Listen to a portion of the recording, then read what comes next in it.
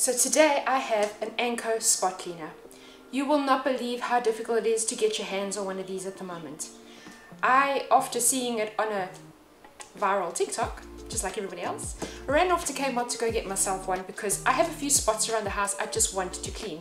I rent and you definitely don't want to mess up the carpets in a rental. One of my friends who I clean for spotted one of these on the shelf the other day. She sent me a message saying, Shemaine, there's this random spot cleaner sitting in the middle of nowhere. I think it was amongst toys. Do you want it? And I was like, please get it for me. Anyways, I got one. So we are going to try out two spots today. I have one in the kids room. If any of you know how it goes with slime, these things are a nightmare. You cannot get them out your carpet unless you really, really, really scrub or catch it really early. So my daughter has managed to mess some of that in her room. I want to try and clean up that mess. And then there is another spot in my living room. There is a red spot on the floor. I don't know what my grandson did. It could be him, it could be the other two. However, there is a red spot in there. So today we're going to try and get those two spots out and see how well this works. I have decided to take it out of the packaging before doing this video. I don't want to do these videos where I take it out the box and as I'm doing it, I'm trying to learn what to do with it. And then some of the things that I learned later on, I cannot tell you about because I've already done the video. So today we are going to have a look at it. I've already checked it out. So before we begin, I just want to let you know that this has a detachable water tank. The clean water tank has a capacity of 1 litre. Dirty water tank has a capacity of 460 mils. It's got a 1.25 meter suction hose, 3 meter long power cord, and it's just got a press to spray function. So while you're using it, you press it, the water comes out, and then you're going to suck it up as you're cleaning. There are quite a few little tools that come with it, which I'll show you shortly. Um, it's got an upholstery tool, which is great because I want to do my lounges. They are really bad. It's got a tough stain tool and it's got dog brushes. So some of the accessories it comes with. First of all, you have your booklet so you can go through it and see what you need to do, but I'm here for you. I'll show you. It comes with your upholstery cleaner. This is the one that the water will come out. There is a spout that you would spray your water and then you would suck it up with this one on your upholstery. This is really cool. Um, you can actually see all the dirt coming up and getting sucked out and then it also gives you a guide as to when there's not that much water left because you won't see it coming up through the clear piping. The next one you have is this one. This one is more of a scrubber, so it's for those tougher marks. You can use this to scrub a little bit just to remove more tougher stains. I would suggest that taking something like Dyson or any of your stain removers that you would use on your clothing and just giving the stain a little bit of a spray before you do it, maybe a few minutes, just let it settle and then go in with this. They can also help you get those tough marks out. I do want to mention that you should probably go and have a look on your on your lounges or on whatever you're going to clean. See if there's anything recommending what you should use on there to clean with and what they recommend you don't use before you go in and just clean. And also maybe just do a little bit of a test at the back of your lounger, then you can just see that it doesn't do any damage before you go full on on the front and then you have a problem. So that's that one. And then you have this one. This is the dog brush nozzle. So it comes with two attachments. The first dog nozzle you get is this one. Now this one comes with a metal comb on the one side and the soft bristles on the other. This one is meant for long hair animals. And then you've got the other one, which has just got the bristles on either side. This one is a plastic bristle, and there is your brush-like bristles. This one is for your short hair animals. Really cool. They will just pop onto this, and then you will use them to remove whatever you need to remove. This little gadget goes into the bottom of your water tank, the clean water. It'll screw in once you fill the tank and it just holds the water in place for you. So that is where you will put the nozzle on and you will fill your water up to the max level. The plain clear one is the one that you will put your clean water into and the other one with all the funny inside gadgets, that is the one all the dirty water will come into while you're cleaning. So in order to remove it, it has got this piece up here that you will just pull back and you will lift it up to take it out. It will be connected like that.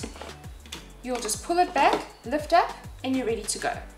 Turn over, fill up with water, make sure it's to the max level. They have put it upside down for you, so when you fill it, you can see where it goes.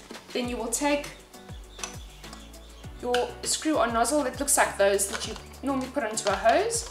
Screw it on and then you'll just pop it straight back into place and make sure that it clicks in like that. Then you know it's ready to go. Three meter long power cable with your two prongs on the end. It's also got the piece of Velcro on it so you can wind it up nicely and tie it up for easy storage. Then we've got the pipe that it comes with, which I have wrapped around. This is 1.25 meters long. It's actually in the back of your system built in. You can wind it around and it's got this little piece over here which comes separately as well with all the other gadgets. It will come loose like that. All you need to do is hook that piece there onto this little back section, making sure it clips into place properly. When you wind your pipe around and it comes back, you've got that nice little area to clip it into and it stays all nicely in one place. I think that's quite cool. Getting back to the pipe, over here you've got your little nozzle. This is the nozzle that you will squeeze to release the water out. When you add your item on, you'll make sure that you push it on, that that little piece there goes into the circle. So we will push this one on so you can see. It'll click and then you'll know it's in place and then you're ready to go. When you want to take it off again, just push that nozzle down and pull it off. I think it's nice and compact, it's not too big. You can store this away in your cupboard in your laundry, you could put it in the garage, wherever you feel, and clean it out each time you use it. But let's go and see how this thing works. I am really excited to see if it's going to take these marks out because it will save me so much money in having to get someone out here to come and clean it. I have tried scrubbing with a scrubber and I have used all sorts of things on it and it just has not worked. But before we start, I just want to show you what I'm going to use to put in the machine because it doesn't come with a cleaner. I have gone to Woolworths and purchased one from them. They have a whole section there where they hire out machines. If you just go up to them and ask them for the upholstery cleaner, they will give that to you. Or you can also get the carpet cleaner, which in this case you probably need a carpet cleaner. I purchased the upholstery cleaner. But I'm sure it'll do the same thing. I just purchased the Britex upholstery cleaner. You're basically just going to put the measurement of this into here. I think this one shows you how to do a 9 litre bucket of water all I did was calculated how to do it into a one liter. So you'll just do the measurements, pop your liquid in here, fill it up with water, and you're ready to go. Okay, so here we have spot number one. I told you it was a red spot. I have no idea what this is. It's just red. Now before we start, I just want to show you guys. On your machine, your on-off switch is up here. You can see I have filled it with my liquid. I didn't fill it too much because I only wanted to do two little spots and we don't need to fill it for anything else. I'm going to go in with the scrubbing brush first. So I'm literally just going to attach that quickly onto my pipe and it's clicked in place. And then we're going to push our button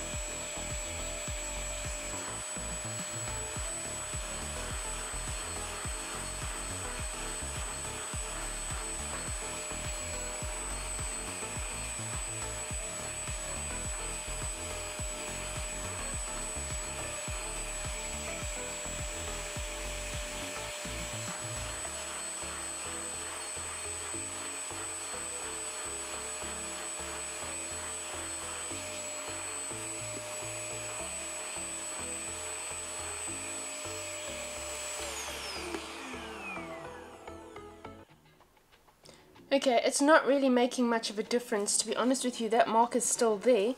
I'm going to try suck the water out now and just see what happens. I did tell you you should pre-treat before you do this. I should probably have done so. I haven't pre-treated it, but I wanted to see how bad the mark is first. So I might have to go in with a pre-treat, but let's give it a suck. I have now put that nozzle on, and if you pay attention, you will see all the dirt coming in through here.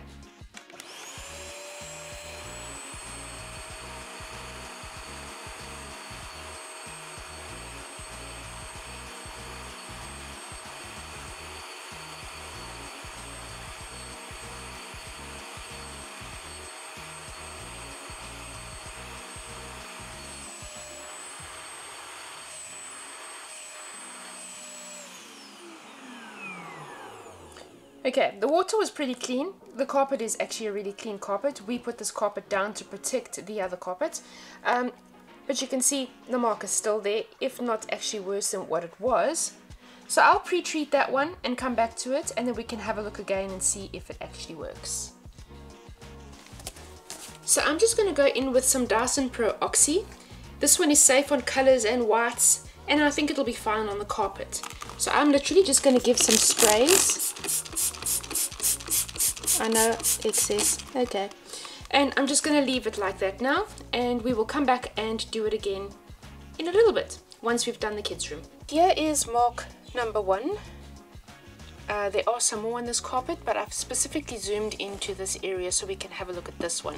There is some hard pieces on the floor here, but you can see the marker we're focusing on now. So what I'm going to do is I'm going to pre-treat it quickly.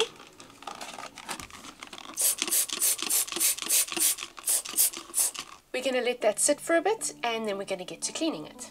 We're going to go in with a scrubby tool again I just want to give you guys a bit of warning. When you're pulling it off, when you pull it off, be very careful not to touch the trigger.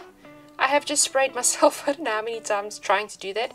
It is a little bit difficult to pull off because you need to get a grip. Just try not to touch there. So let's go in and scrub away.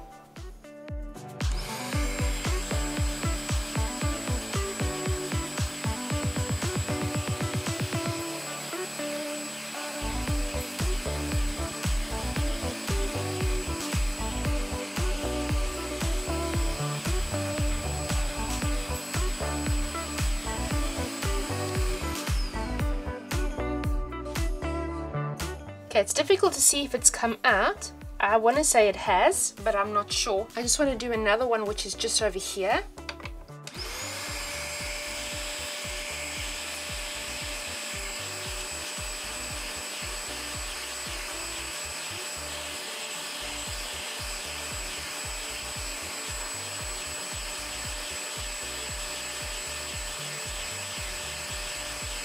So I've done quite a few spots around here um, I want to say it's taken out the marks. It hasn't lifted the dry pieces out. But let's see what happens now when we suction it. So, like I said, when you take this off, try not to push the trigger. Just hold the top and pull off.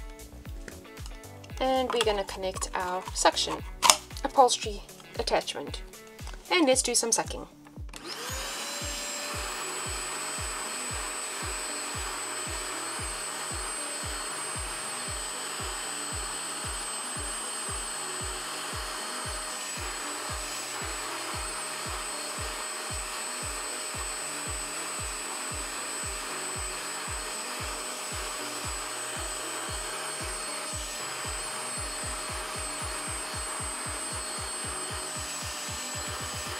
Okay, so this is the area that we focused in. And I want to tell you that the marks are out. The slime has been taken out. These harder pieces, I think I need to just try get the hard pieces off before we do any washing there. I don't think it's healthy to get the hard pieces through the, um, the machine anyways. But it definitely lifted out the slime. So, slime removal, done. We're happy. Let's go back to the living area and see what we can do with that mark now that it's been settled for a while. Okay, so we are zoomed in a little bit more. You can have a look. There is our mark. And I have left it with the Dyson on for a while while we went and did the kids room. Let's see what happens now. I'm going to put the scrubbing tool back on first and just try and see if we can give it a bit more of a scrub.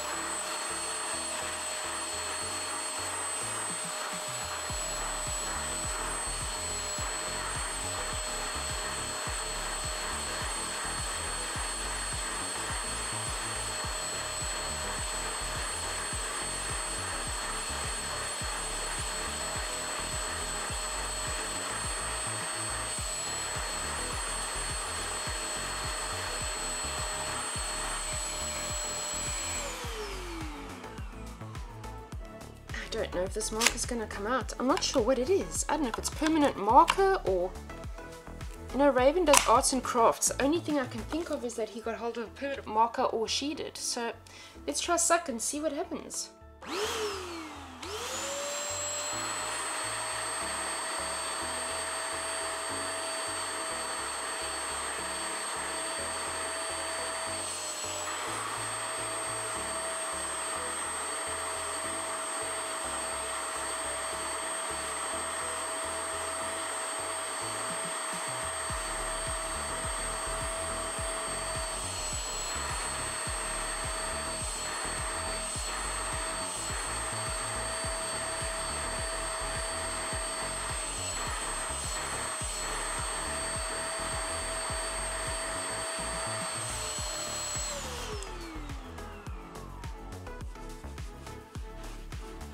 Okay.